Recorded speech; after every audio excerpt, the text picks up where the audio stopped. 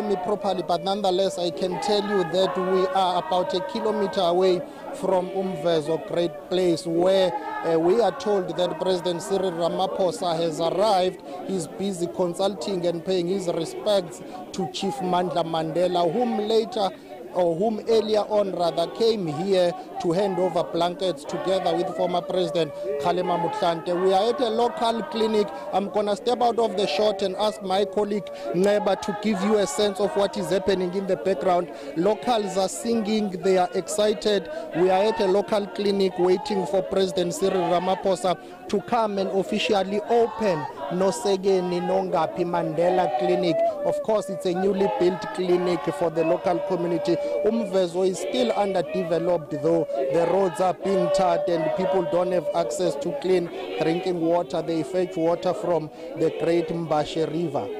So what is happening really is that festivities are going on. It seems as if it's going to be an all-day event. And then after that, the president, together with some former presidents, will go to the big marquee, the dome that has been set up to address about 500 people and locals who would be gathered there to mark 100 years or the centenary of uh, the late Nelson Mandela. So it's a big day, not only in Umvezo, Madiba's birthplace and the Eastern Cape or South Africa, but even the United Nations marked July 18 as the, as the Nelson Mandela International Day.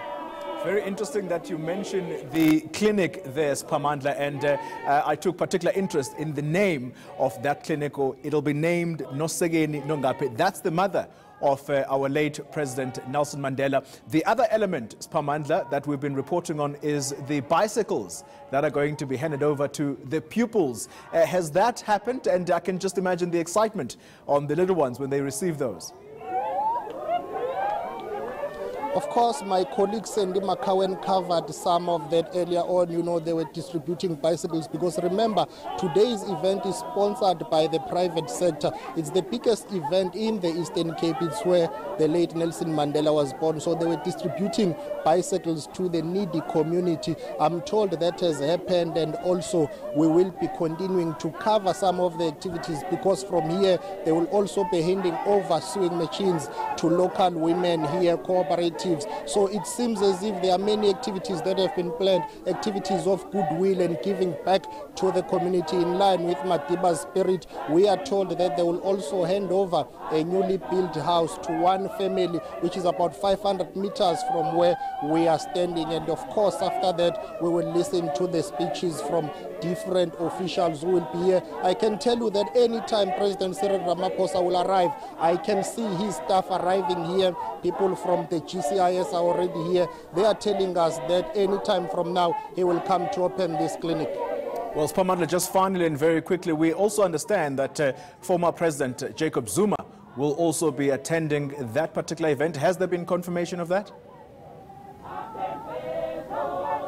As of yesterday, we were definitely told that he's coming. Unofficially, I've met people who work with former President Jacob Zuma. They told me that he was definitely coming as we speak now, there is no confirmation whether he's no longer coming or what, but we were told yesterday that he's definitely coming. There was confusion around former President Thabo Mbeki. There were reports that he was going to send a video message together with former President FW de Klerk, but we know for a fact that former President Kgalema Motlanthe is here. He has already participated on some of the activities, so we wait to see whether former President Jacob Zuma will come, but it's widely expected that he will will come because he is pretty much close to uh, Chief Mandla Mandela. Some people say they are very good friends and they've got good working relationship. So we don't see anything that will prevent him from coming.